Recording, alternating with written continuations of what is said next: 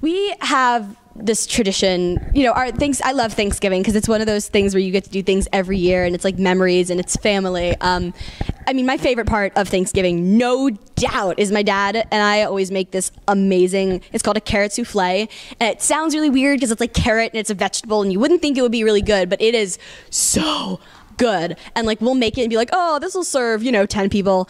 I could eat the entire thing in a day and it's even better cold. So leftovers disappear like that. I mean one thanksgiving i woke up the day after thanksgiving and i was like oh cool i get to go have some carrot souffle and got into the kitchen and it was gone. One day later and we had like four tubs of leftovers. Um, so it's it's definitely my favorite thanksgiving memory that we have to have it every year. No matter what we do for thanksgiving we always have it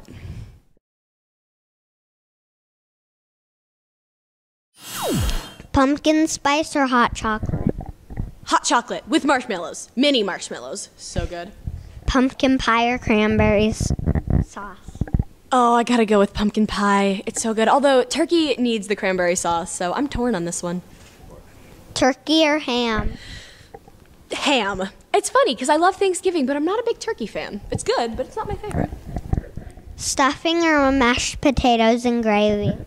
Definitely stuffing. If I'm gonna have mashed potatoes, I love sweet potatoes, but I would go stuffing over mashed potatoes.